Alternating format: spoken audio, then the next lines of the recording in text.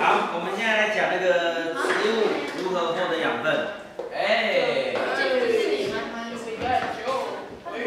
植物如何获得养分呢？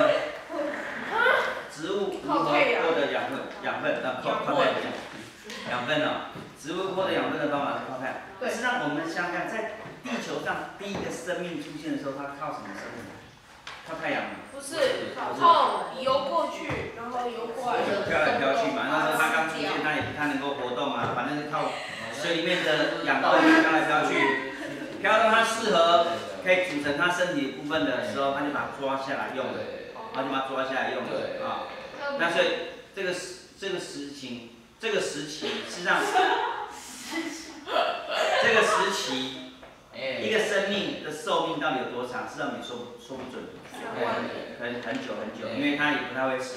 对，那那那反正就是很久，应该它可能也不会肚子饿，因为它就是撑着啊，撑着，撑在那边，对啊，就是撑在那边，因为就哪个撑着？就撑啊，有时候撑在地板上，就撑在撑在水里面啊，就就苟活着在那边嘛啊，然后慢慢的慢慢的有一天，他发现这不是办法，或者是他经过不断的复制复制的过程当中，他产生一些变异性，他发现有些生命竟然可以透过阳光来获得食物。啊，他透过阳光的时候呢，怎么样？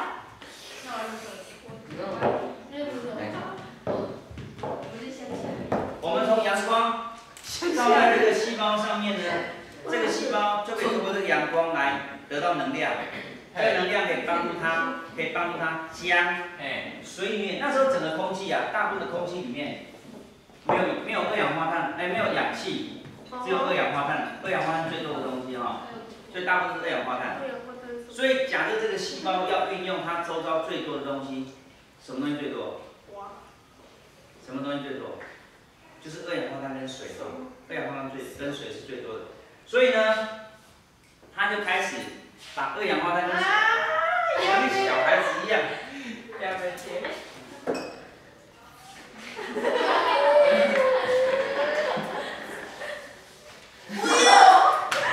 哎，所以你拿板擦。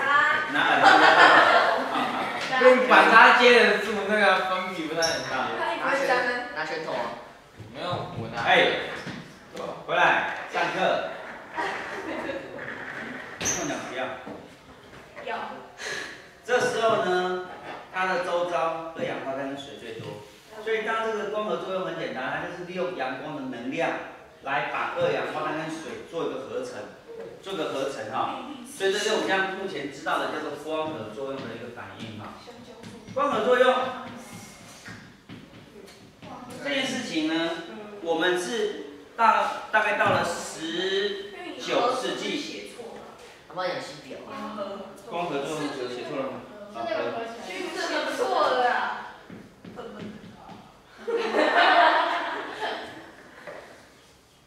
错了，你好厉害哦。傻傻的兄弟。好，这个挺很厉害的。对啊对啊，好不容易抓到一个把柄在你手上，就这样。真脏啊，哎，那个给我一个。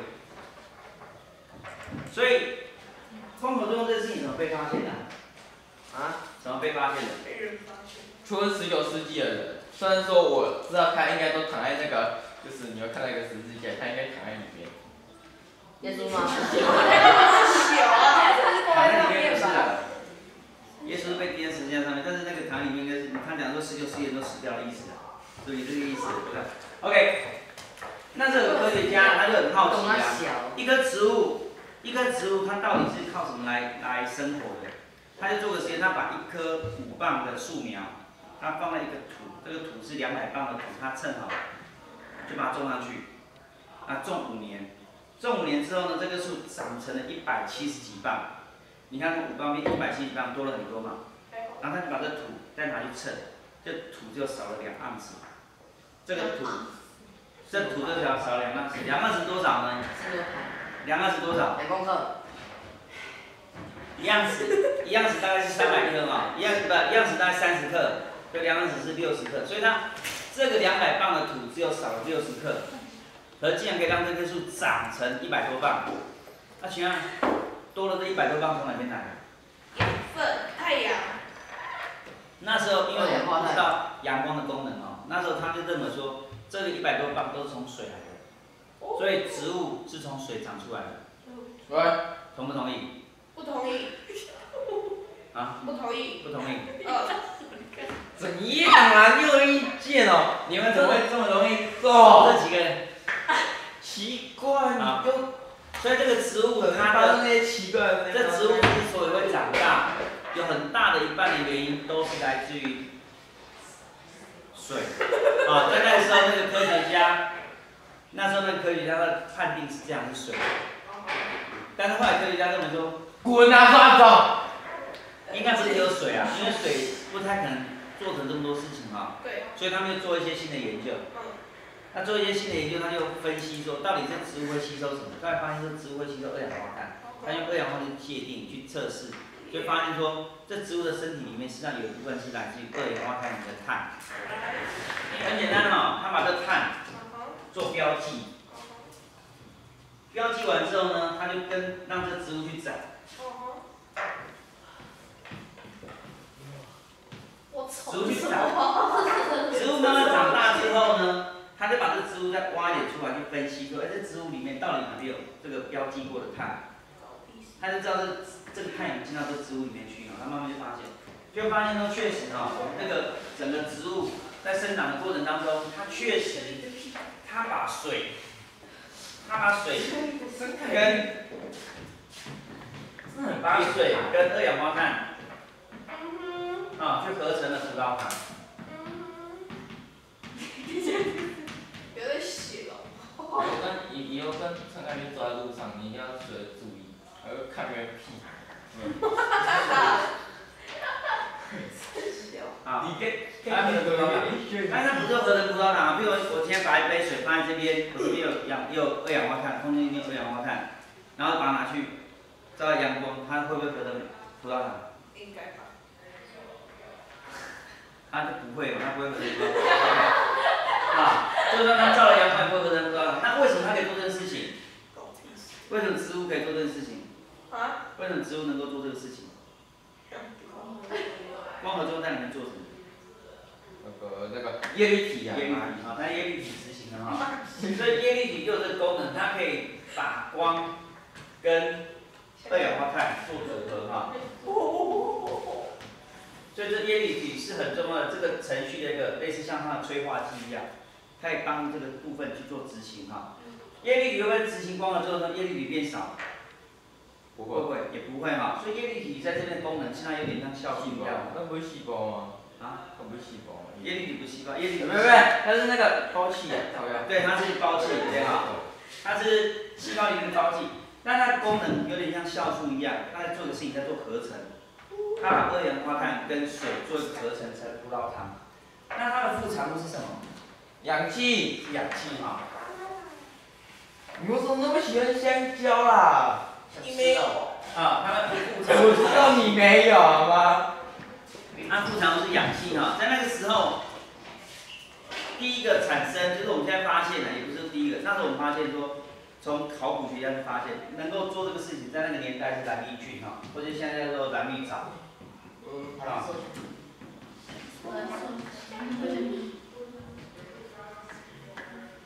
啊，蓝绿藻事实上到现蓝绿藻已经几十亿年了，它的生命就是它在化石里面被发现已经有二十几亿年前的历史，就二十几亿年前的土里面就长过蓝绿藻，但是蓝绿藻现在地球上还是存在的，那不是活化石？也不能叫活化石，活化石意思是什么？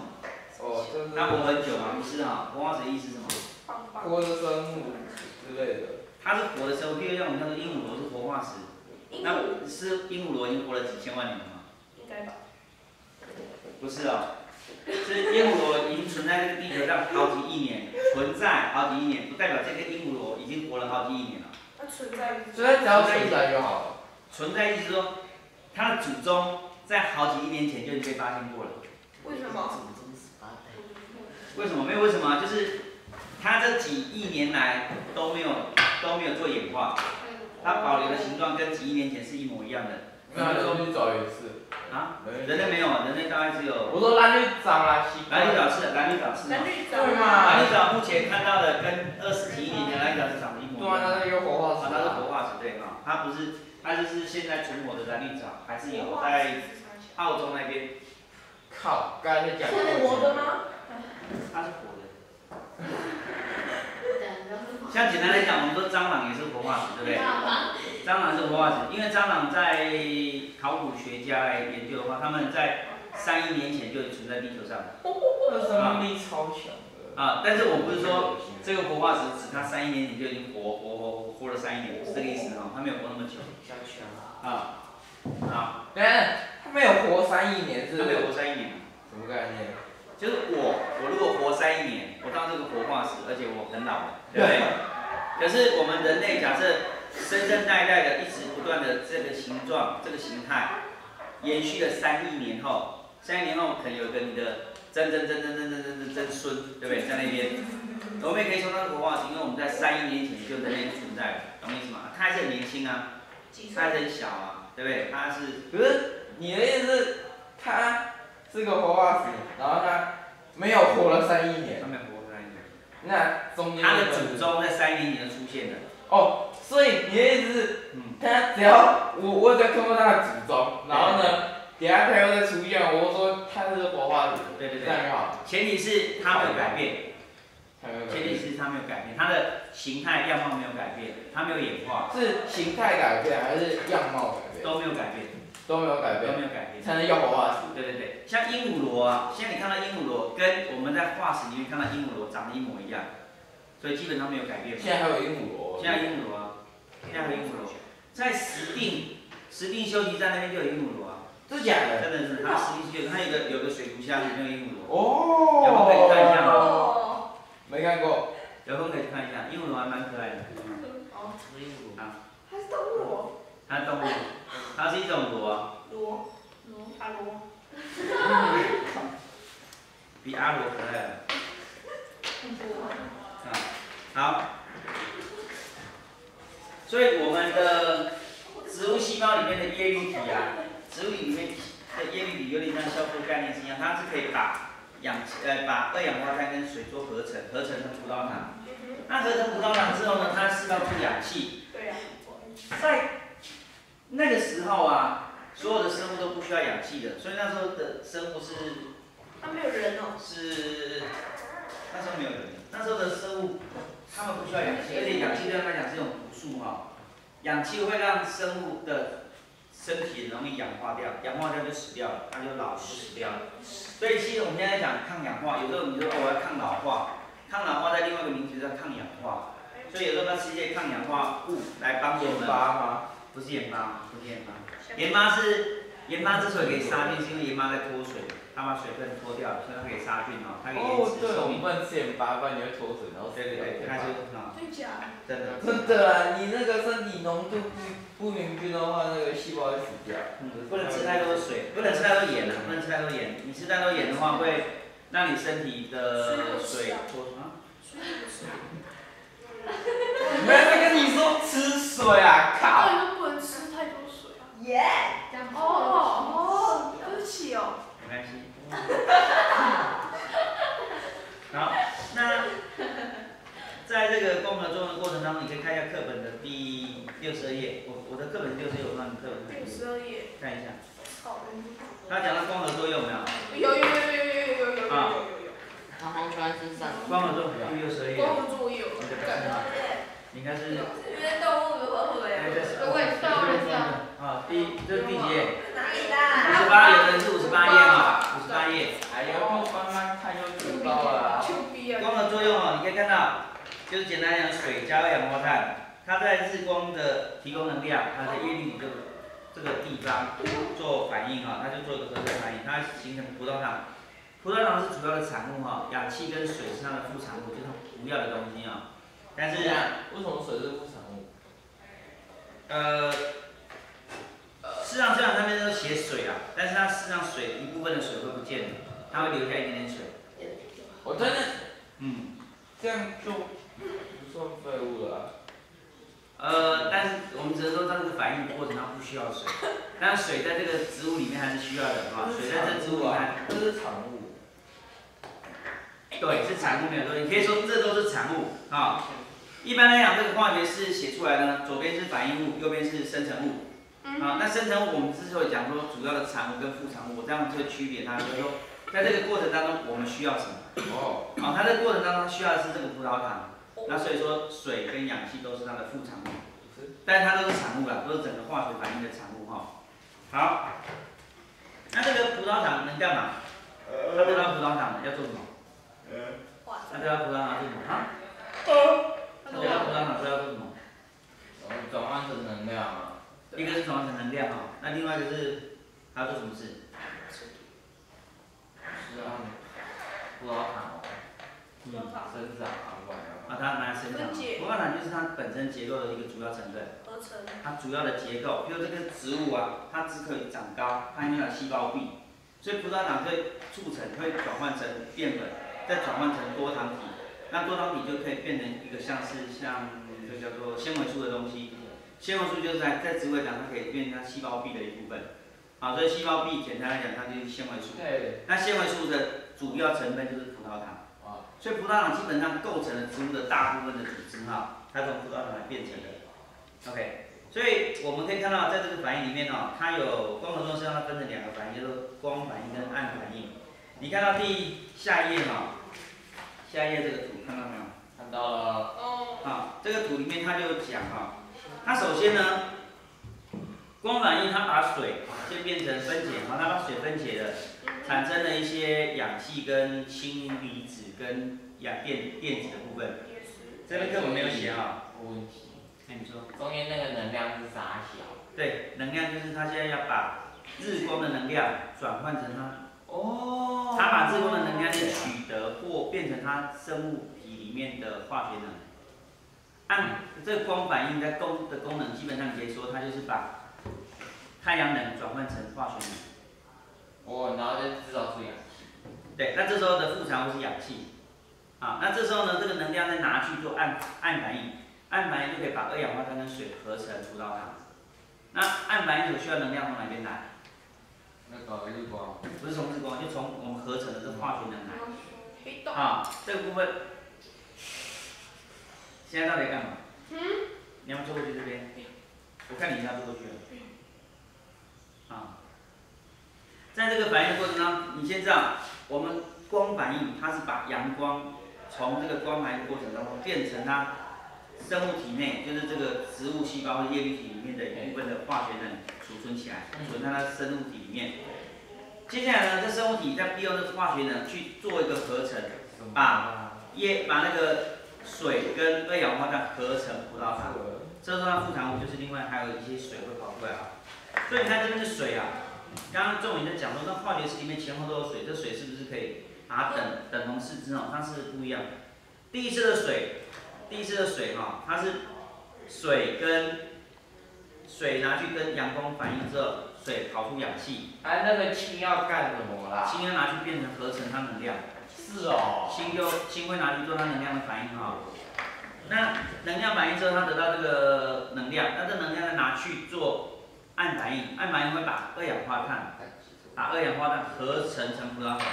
那这时候我们刚刚从水里面得到的氢，会拿去跟二氧化碳的氧再合成水跑出来，所以它是做一个分解再合成过程。所以是两个氢一个氧嘛，两个氢一个氧对。啊，我没有记错。好。所以这是光合作用的一个过程，这样有概念吗？有。所以葡萄糖是在暗反应生成还是光反应生成？暗反应。暗反应非常好。好，这是我们讲的光合作用。所以光合作用一般来讲是在白天形形成还是晚上？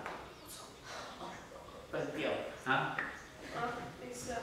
呃，碳反应是。哎呀，呃，光合作用是在白天还是晚上？白天。啊，白天的，白天在做光合作用。那所以白天植物会。吐出什么氧气，对不对？啊，氧气会很多。那晚上的时候，植物在做什么事情？呃，吸收氧气，然后。对。晚上的时候，植物在做这叫呼吸作用，它都会吸收氧气，吐出二氧化碳。这时候它吸收氧气是要把葡萄糖合成淀粉，再合成我们所谓的这个碳水化合物的之类东西哈，像纤维素之类东西。所以晚上它做另外一个反应哦，它不一样的。所以说植物，那怎么来讲哦，它是会释放出比较多的氧气啊，所以种植植物还是有好处，而且种植植物它可以把碳给吸收。好，我们现在有所谓的这个叫做温室气体的问题，对，全球暖化的问题。那全球暖化温室气体最重要的是二氧化碳。对。所以目前来讲，我们要处理二氧化碳最好的方法是什么？哎，小拿声一点，酒精可以吗？进来，小声一点。对不起。啊，你们，我们在我们在处理这个处理这个所谓的二氧化碳的问题的时候，我们用什么方法可以处理最多的二氧化碳？目前来讲，种植是最有效的方法啊。但是很可惜，是我们现在目前的城市啊，大部分的城市又没有植物，对不对？植物很少，比如像整个台北市那么多人，就就只有几个大的大型的公园啊，还蛮可惜的。所以，怎么样在你家里面种一些植物，是对你的家庭环境也会有帮助哈、我们家植物怎么种怎么死。怎么种怎么死啊？啊，你这长得比较好看哦。我们家植物都都有那个好动。在那绝个对不是看到。活动三十三哦，Hello 同学，活动三十三这边很简单，他做个简单实验，他用铝箔，用铝箔把植叶啊，把植物哈、把植物的植物的叶子啊，简称叫植叶，好不好？好酸，好干。然后我们去找个叶子哦，待会你们每个同学都做做一个这个这个实验，我们还有三十分钟可以做哈。哦。我会发给一个你们一张铝箔纸，然后你用铝箔纸，你用胶带或者是用那个回纹针把它给别起来，那一定要。试一下嘛。下礼拜。配合下礼拜的实验，因为我们下礼拜要做淀粉实验，刚好可以一起做。一下。这今天走哦。今天没办法做，哦。今天时间太短。你说？所以今天就要包铝箔而已。对，今天就包铝箔，让它活一段时间呢、它才可以，它慢慢的那个叶绿素那边淀粉只会被吸收掉。是我吧？对，我给你交代。然后你们记得做实验，贴上去之后你要知道哪一块是你的，好不好？好啊。好，OK，好。你在上面贴上去。摘手上不要摘植物吗？不用摘，不用摘，你可以把它摘下来。